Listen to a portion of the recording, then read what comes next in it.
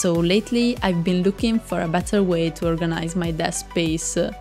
I already have a desk shelf that I made and I really like it when it's tidy and clean. But since it doesn't have any drawer or mid shelf, it always ends up this way. So, while searching for some inspiration, I came across this Maker World contest that gives me an idea. Wouldn't it be great to design a modular desk shelf that could be entirely 3D printed? Hello, I'm Robota and in this video I'm gonna show you how I've organized my desk space with just a 3D printer.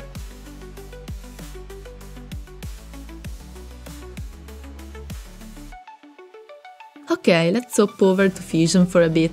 I think there's nothing more convenient and organized than a desk shelf especially if you got a lot of stuff lying around that you use all the time.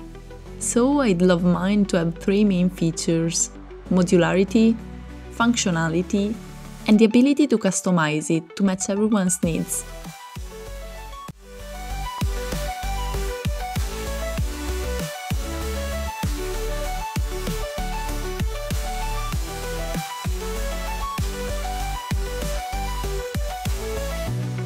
Okay, I think we've done here.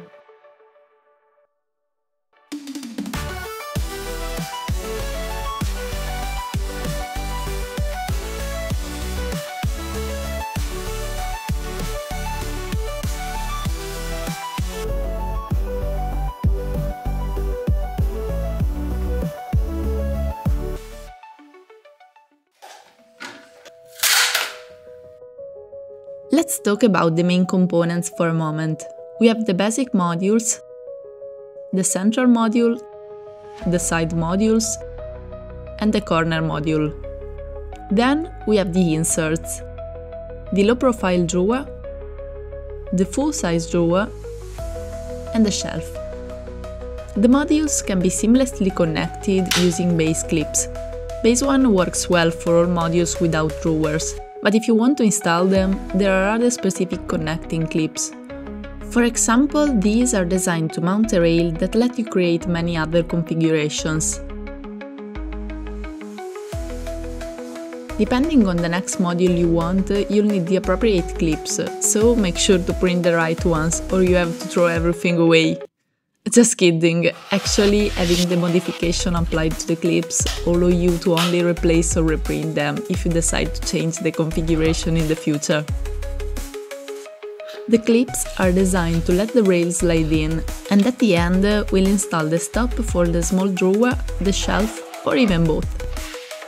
For the full-size drawer, you can install the base clip in the front, while in the back you'll need to print that one with included stop. The same applies to the clip for the corner module. That's just an overview to let you better understand the overall logic. You'll find everything linked in the description, including the download link for the 3D models.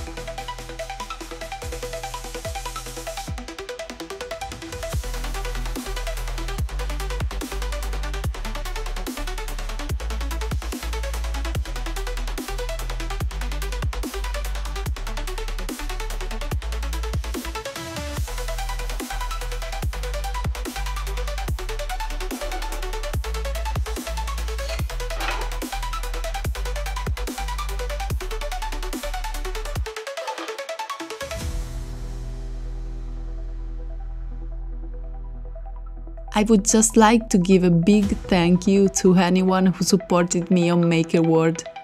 I didn't expect this kind of participation and your support has been absolutely fantastic. Thanks for watching.